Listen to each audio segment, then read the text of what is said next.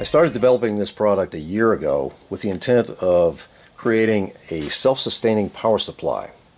One that doesn't require you to plug it in or charge it with any other device, not wind, solar, hydro. I put everything in this standard 19-inch rack mount box because I look at this as a building block. Much like the computer servers that have this form factor uh, in data processing centers, as a power producing building block. You simply add more units in the rack until you achieve your goal. Now I'm going to show you really quickly just a, a couple of things here and then I'm going to open the, the top and explain everything to you and show you how it works. But uh, right here you can see I've added a couple of USB ports to, to this device. Now again I want to be right up front with you and, and let you know that this is a prototype. These are not available for sale, at least not yet. So anyway, I put these two USBs, you just hit this little switch here and the LEDs light up, let you know that it's powered up. The red one here indicates that the, uh, the two USB ports are live and then you got phone or tablet or, or whatever uh, you want to use these for, just plug it in and charge it up. Or if you got one of these cheap little USB testers, you can you can plug other devices into it and see what kind of power it's demanding. It tells you the volts, tells you the amps, and just uh, plug anything in. This is just a little light. Anyway, that that's just a little gimme, and uh, doesn't really need that because the most important thing, let me just move this, is in the back side. Now I haven't screwed the lid down, so that's why everything looks a little bit loose here. But uh, there's a couple of binding posts here. I've got it fused for 20 amps though the internal can go can deliver much more than that but I just want to keep it safe. You just unscrew these and and put a, a standard cable uh, battery type cable like uh, this one here and just attach that to it and then attach these from one to the next in parallel series or whatever kind of output that you're looking for. So that's that. Let's open it up.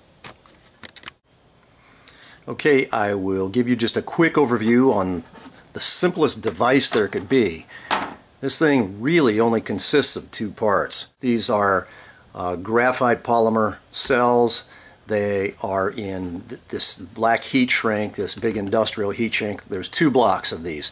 Each, each block, and they sit on top of each other, uh, each block is uh, has 12 cells in it and they're all connected in parallel and then the block underneath uh, same thing in parallel and then those two blocks are connected in series. So it gives you a little higher voltage but plenty of current.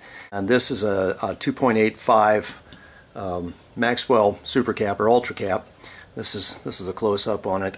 These monsters are are pretty powerful.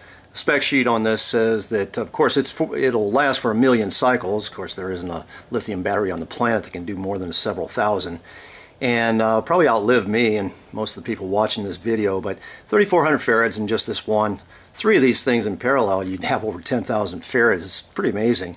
The reason that the posts are so big is because they can also output 2,000 amps every time you cycle this thing for a million cycles. That's unbelievable. That's a spec sheet from Maxwell. It says that if you short circuit this thing, it'll produce up to 10,000 amps. So uh, you know, not trying to do product placement. I'm just uh, impressed with the product. It's uh, a good company, good products, and so they make sense to me, and so I use them.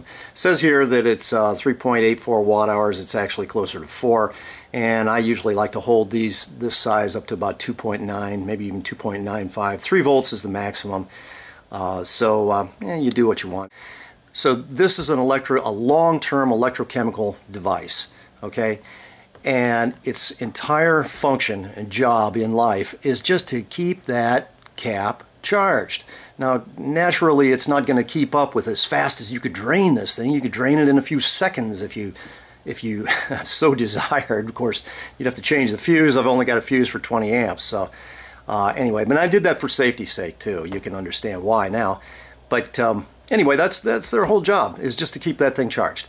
And so, so this is the source of energy, and this is the delivery point. That's it. Just A and B.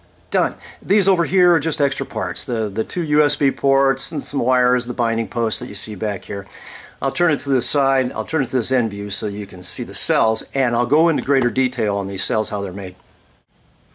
Here's an end view of the cells. I know this kind of looks like a mess in here, but it's nothing but uh, reflection from the shiny black heat shrink, so ignore that. But anyway, I don't know if you can see it very well because it's, it's pretty dark in there, but uh, but there's 12 cells. In fact, I can I can show you right here. You can see where they separate. Okay, these 12 cells on top are in parallel again, and the 12 cells on the bottom are also in parallel, and then they're connected in series right here. And then here's the output that goes up to the cap. The last part of this video that some of you have been waiting for begs the question, what are these cells made of? And now I'm going to explain to you what they're made of. I told you that the, the cells were made a year ago and they've been sitting on the shelf until I could get back to this project. Uh, had a really good year with the Q-Beta program and thanks to many here in the US and many abroad that have uh, helped support that program and that helps us uh, accelerate and go into these other um, parts as well as advance the systems that we have developed. But um, the, so a year ago, before I made these cells, I made these prototypes. And here's one of the prototypes. And uh, let's see if you can see this. Maybe I can zoom out a little bit and bring it closer. Let it focus. Okay. So this is a graphite polymer cell. And this is the graphite polymer plate on this side. The active area is one inch by two inches. And the the thickness of this in millimeters, there you go, you can see that. The thickness is uh, 0.4 millimeters, so it's very, very thin. Okay, on this side, this is the opposite side, and this is the graphite alloy, as you can see. And this is uh, this is just the contact terminal for the uh, graphite polymer side here. It's, it's super flexible. I mean, this thing can be formed to just about, I mean, it's very, very flexible. I don't want to bend this one up because I, I think flat is a, uh, a more sensible storage than, uh, than rolled. But, but um, when I first made this, oh, I'm sorry, I did, I didn't mention the electrolyte. The electrolyte in between, the part that's so important, is a polymer electrolyte. It's a solid polymer electrolyte. Now you can see that it's got to be super, super thin to work and and it does. So it's um, it's both an electrolyte. I shouldn't say more than I should say more than both. It's an electrolyte. It's an insulator. Um, it allows ion transfer. It's it's pretty amazing. It's my own proprietary mix, but it has a curing time. It cures out. And when I first made uh, the very first cell, which this is the one, this is the actual very first graphite polymer cell that I made. It's wrapped up in tape, uh, clear tape, just to hold these contacts in place on the uh, graphite polymer side and, and the, um, uh, the graphite alloy side. So, and you can see where I'm marked for negative and positive. But when I first made this thing, it, it pretty much read zero volts at zero amps. I mean, it was less than microamps. So I immediately chucked the thing in the trash bin and said, okay, that, that was a failed experiment. Try again later. But uh, I, I slept on it that night, came out the next day, grabbed it out of the trash, and thought, hey, wait a minute. You know what? Sometimes these have to be uh, compressed or deformed to actually, you know, when it's a solid, to actually uh, get it into uh, a working condition. So what I did is I took a broom handle, it's really crude, and you can see it's, it's like this little perfect circle. I just wrapped it around a broom handle and suddenly the thing just came alive. And then it was like one and a half volts, still is, uh, one and a half volts, but low current, probably, uh, I think this one's between 50 and 100 microamps, so not a lot of current but uh, decent voltage. But anyway, so so what was a failed experiment turned out to be very interesting. Okay, so then I made this particular version, kept it in the flat state. Now this one's a little bit larger than this other one. Uh, in other words, this one's two inches long, and I think this one was only about uh, one and a half inches long uh, before it was curled. So, so I made this one, and this one went through compression while it was in the curing stage. And so right now, this uh, typically reads uh, 1.8 volts, but the interesting thing about it is that oh at 1.8 volts at about uh, between 100 and 200 microamps so still not a whole lot of current but you can see because it's 0.4 millimeters But the interesting thing about this one is that you can also charge this. Now the cells inside here are made up of 80% of the exact same thing as, as this cell. Uh, the other 20% is the fact that these are a heavier gauge material because if you want it to last for two or three decades, it's got to be heavy enough weight so that you have plenty of material that can be chewed up over time since it is an electrochemical device, but it's very, very long-term device. So that's that's one of the reasons, and the other is it has a slightly different electrolyte than than this solid that's required for this very thin. But this, uh, I hear, I see a lot of things. Oh, people, oh, I got a new battery technology. Yeah, it's a graphite polymer. Well, this was a year ago. No big deal. Here it is. It works. Um, I can show you also here with this trusty old voltmeter or multimeter and show you that it does read, whoops, let's get this where it can be seen. Get my hands where they can work. Okay, so there we are, 1.78.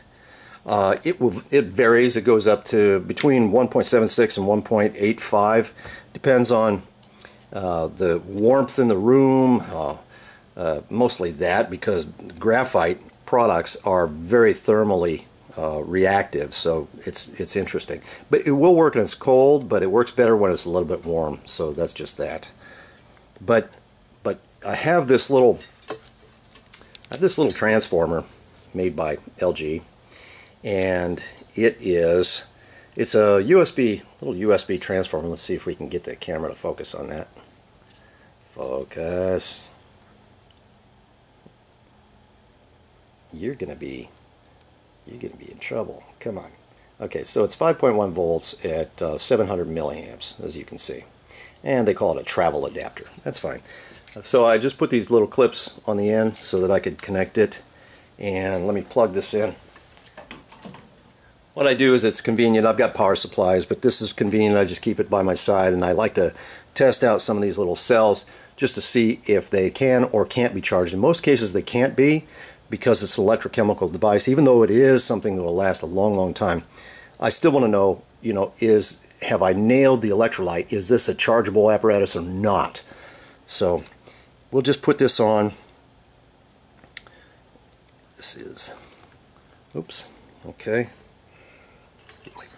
That's the, oh, I need to protect, the, oh, let's just do like this. Okay, here we go. Okay, let's just do it. I'm just going to touch it for um, three seconds. How about that? 1001, 1002, 1003. Now you saw that it was 1.78 volts and in just three seconds it is 2.25. Now if you keep that on there, the little charger on there for say 30 seconds or a minute, it'll hold that 2.2 or 2.0 for hours. So this little thing can be charged up. Doesn't need to be, but it can be. That opens up a whole new door.